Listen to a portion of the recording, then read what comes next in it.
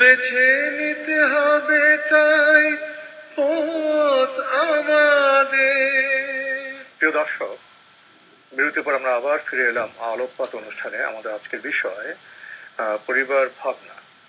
বিরতির আগে আমরা ডক্টর মোহাম্মদ আব্দুল আজিজ থেকে চমৎকার বক্তব্য শুনছিলাম পরিবার লক্ষ্য প্রসঙ্গে।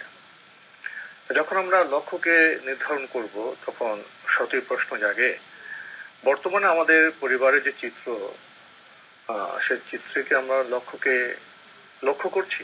না সেখানে কোনো ধরনের বিপর্যয় সৃষ্টি হচ্ছে বা সেখানে কি কোনো বিশৃঙ্খলা সৃষ্টি হচ্ছে? আমরা যে সভ্যতার যে স্তরে এখন আমরা আছি আমাদের বৈজ্ঞানিক অগ্রগতি আমাদের জ্ঞানের বিকাশ তথ্য প্রযুক্তির বিকাশ প্রসার এবং অবারিত তথ্য প্রবাহ এই যে যুগটাতে আমরা এখন অবস্থান করছি। অবশ্যই অর্থনৈতিক বিবেচনায়, জ্ঞান গরিমায় উন্নত একটা স্তরে অবস্থান করছি। কিন্তু সাথে সাথে এর সাথে আনুষঙ্গিক যে অসুবিধাগুলো এসেছে, সেটা অবশ্যই আমাদের পরিবারগুলোকে আঘাত করেছে। কারণ আমরা, আমাদের পরিবার কিন্তু যুগ যুগান্তর ধরে নানা রকম পরিবর্তনের মাধ্যমে বিভিন্ন সময়ের সাথে খাপ খাইয়ে মানুষকে মানুষকে প্রতিপালন করে আসছে। কিন্তু বর্তমান সময়ে এসে এমন একটা সময় এসেছে যখন বোধহয় ভাবতে হয় পরিবার এর পূর্বে ইতিপূর্বে এতটা দুঃসময়ে আর পরিবার নামক প্রতিষ্ঠানটি পড়েনি। পরিবার ভাঙ্গন বা বিচ্ছেদ আগেও ছিল কিন্তু এখনকার বিচ্ছেদগুলো অত্যন্ত ক্রমবর্ধমান হারে পরিবারগুলো মাত্রা বেড়ে গেছে। মাত্রা বেড়ে যাচ্ছে। স্বামী স্ত্রীতে বিচ্ছেদ খুব মৌলিক বিষয় নয় কিছু দূষণের কারণে আপনার বিচ্ছেদ হ্যাঁ, ভেঙে যাচ্ছে।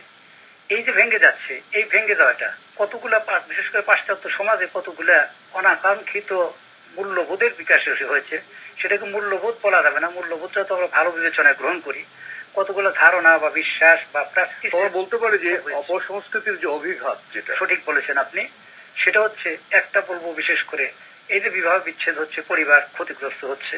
দ্বিতীয়ত যেটা বলা যাবে সেটা হলো সামাজিক ভাবে ধর্মীয় বাধা নিষেধ নিষেধ না থাকলেও সামাজিক বা রাষ্ট্রীয় ভাবে বিবাহ বহির্ভূত ভাবে যুবক যুবতীর এক স্থানে এক স্থানে অবস্থান করা এটা সামাজিক ভাবে অস্বীকৃত ছিল সব সমাজে কিন্তু পাশ্চাত্য সমাজ আজকে সেটা স্বীকৃত এবং এখানে প্রসঙ্গত চলে আসতে পারে পরকীয়ার বিষয়টি। পরকীয়ার বিষয়টা চলে আসতে পারে এমনকি খুব দুর্ভাগ্যজনক সেম সেক্স এর কথাও বলা হচ্ছে কোথাও কোথাও যেটা উচ্চারণ করতেও মানব সমাজ যেটা আপনার বিজ্ঞানের দিক থেকে চিকিৎসা বিজ্ঞানের দিক থেকেও আহ, যেটাকে কখনো প্রশ্ন দেওয়া যায় যায় না। যায় না। এরপরে দেখেন অ্যাবর্শনকে গর্ভপাত এটাকে বৈধতা দেয়া হয়েছে বৈধতা আছে তো এবং বিধ কারণে, এই সমস্ত কারণে পরিবারটা এমন অবস্থাতে আসছে যে পাশ্চাত্য সমাজে যারা চিন্তা ভাবনা করেন সমাজ নিয়ে, মানব সভ্যতা নিয়ে চিন্তা ভাবনা করেন, তারা চিন্তা ভাবনা করে এটাকে কিন্তু তারা এমন একটা টার্ম অভিহিত করেন যে তারা বলতে যাচ্ছেন যে family is now a dying institution যেটা প্রায় মরণোন্মুখ বা মৃত প্রায় একটি প্রতিষ্ঠানে পরিণত হয়েছে। কিন্তু ফ্যামিলিকে তো মরতে দেওয়া যাবে না, কারণ এটা সভ্যতার আদির থেকে আছে শেষ পর্যন্ত এটাকে রাখতে হবে। পাশাপাশি আবার যদি ইসলামিক দৃষ্টিভঙ্গিতে আমরা দেখি এখানেও বিবাহ বিচ্ছেদের হার বেড়ে গেছে আগের চাইতে কিন্তু তুলনামূলক ভাবে এখানে কিন্তু অবস্থানটা অবস্থাটা অনেক ভালো। মানে শুধু ইসলাম নয় মানে যে কোনো ধর্মের শাসনে যারা থাকেন যারা ধর্মকে ভালোবাসেন আন্তরিকভাবে সেখানে বিবাহ বিচ্ছেদের হারটা খুবই কম। হ্যাঁ কারণ যে কারণগুলোকে বিবাহ বিচ্ছেদ ঘটায় তার একটা আপনি দেখবেন স্বামী স্ত্রীর বিশ্বাসের অভাব। বিশ্বাস আস্থা এবং সম্মানবোধের অভাব হয়ে গেলে সেখান থেকে শুরু হয়ে যায় বিষয়গুলো। ইসলাম কিন্তু অবৈধ যৌনাচারের ক্ষেত্রে অত্যন্ত কঠোর। একটা সমালোচনাও করা হয় কিন্তু কঠোর। কিন্তু কঠোরতা কেউ করলে তিনিও এটাকে পাপের কাজ মনে করেন তিনি তারও মাথা নত হয়ে যায় তিনি সেটা লুকোতে চান। হ্যাঁ আমি একটু কঠিন আল্লাহর আদেশের কথা বলছি। এই সম্পর্কে অবৈধ যৌনাচার যেটা যেটা সম্পর্কে বলা হয় আল্লাহ তালা বলেন যে ওয়াজ সানি আত ওয়াজ সানি ফাজলিদু কুল্লু হুমা কুল্লু আহিদুম মিন হুমা মিয়াতা জালদাতিন।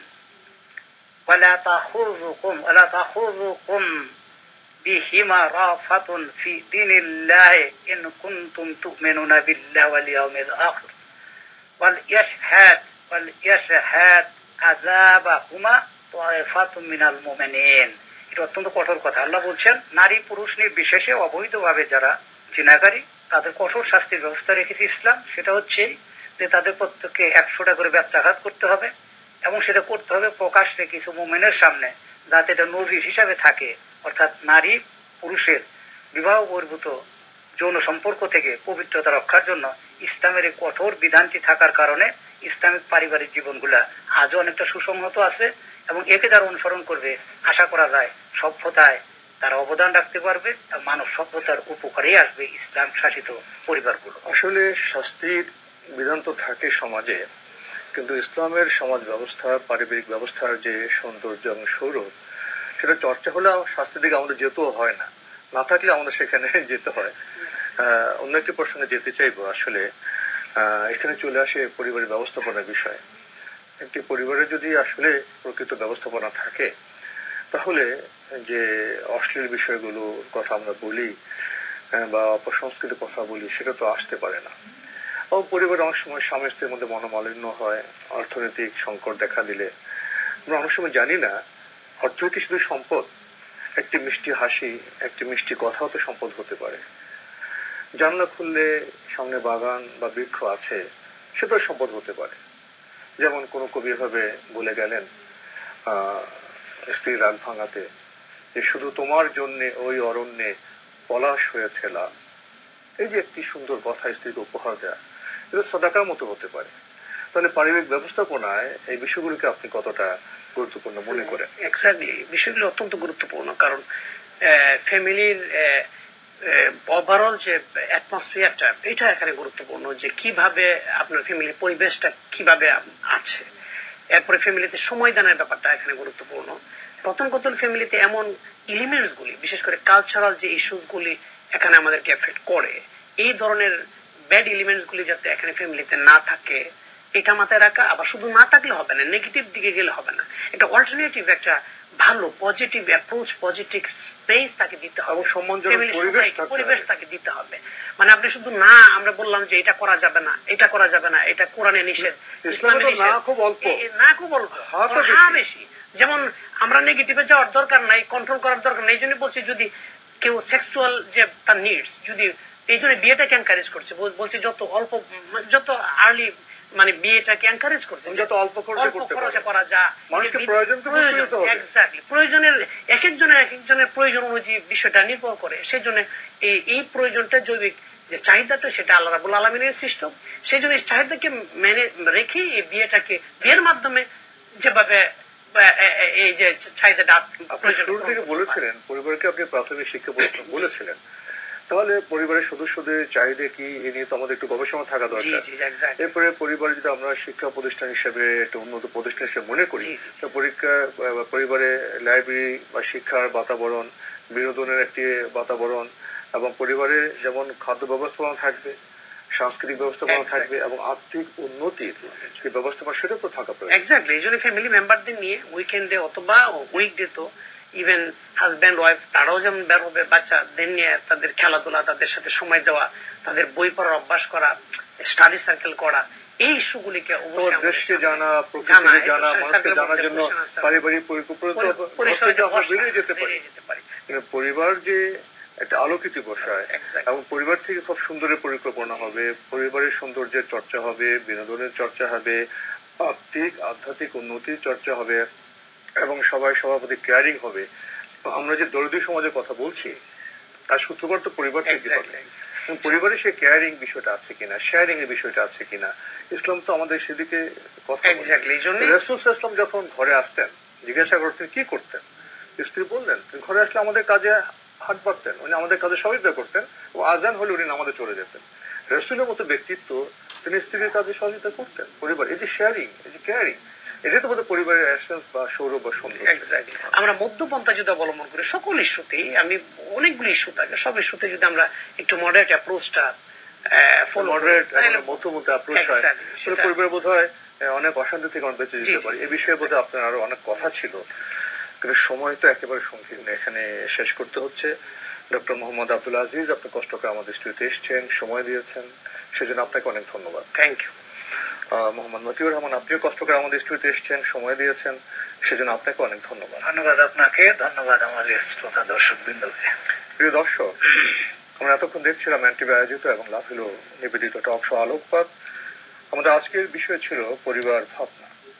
আমাদের অনুষ্ঠান আপনারা অ্যান্টিবি অনলাইনেও দেখতে পারবেন। ভিজিট করুন W W W dot NTV BD dot com এছাড়া ইউটিউবে এবং আমাদের ভেরিফাইড ফেসবুক পেজে অনুষ্ঠান দেখতে পারবেন। পরিবার নিয়ে আমরা আজকে খুব বেশি কথা বলতে পারিনি। আমরা কিছু বিষয়কে স্পর্শ করার চেষ্টা করেছি। আমরা বোঝাতে চেষ্টা করেছি, পরিবার শুধু থাকা রান্না বান্না খাওয়ার জায়গা নয়। পরিবার সভ্যতার প্রাথমিক ইউনিট প্রাথমিক শিক্ষা প্রতিষ্ঠান। পরিবারকে আমাদের সেভাবেই গড়ে তুলতে হবে।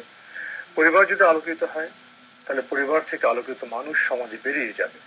প্রতিদিন তো আমরা পরিবার থেকে বের হয়ে যাই এবং পরিবারে এসে আমরা শান্তির অন্বেষণ করি। এই দুটি বিষয় বিবেচনা আনলে বোধ হয় পরিবারকে আমাদের আরও বেশি গুরুত্ব দেওয়া প্রয়োজন।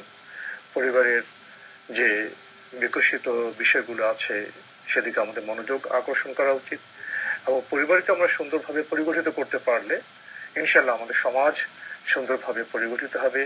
আমাদের রাষ্ট্র ইনশাল্লাহ আরও অনেক উন্নত হবে।